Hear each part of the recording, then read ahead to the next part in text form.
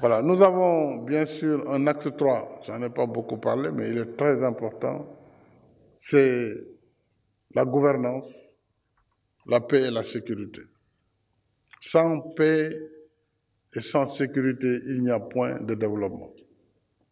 Donc il faut consolider la paix dans nos pays, il faut assurer la sécurité.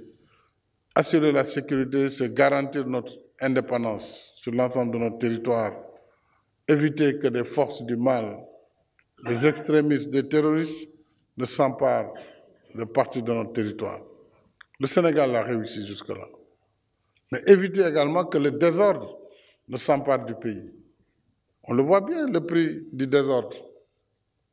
Donc sur la gouvernance, quand j'entends parfois dire le bilan immatériel, quel bilan immatériel? Il n'y a pas de bilan immatériel. On va dire quoi un bilan immatériel?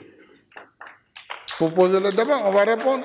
Si ce sont les droits de l'homme, les droits de l'homme, nous sommes notés par des agents indépendants. Il n'y a pas de prisonniers politiques dans ce pays. Il ne faut pas qu'on crée de la confusion et que d'autres euh, amplifient des choses. C'est parce que justement le Sénégal est une démocratie véritable que ce qui se passe peut se passer chez nous.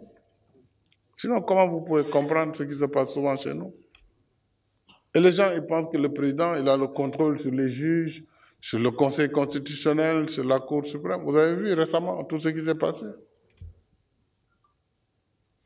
Donc, il consacre plus que l'indépendance des juges.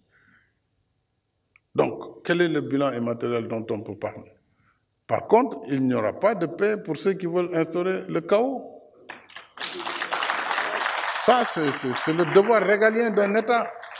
Et je vous l'ai dit, jusqu'à ce que je quitte le pays, je n'accepterai pas de désordre dans le pays. Ça, c'est la responsabilité du chef de l'État. S'il ne le fait pas, il aura failli à sa mission première d'assurer la paix et la sécurité des citoyens. Si on est fâché pour moi à cause de ça, je suis désolé, mais ça, c'est mon travail. Je suis obligé de le faire.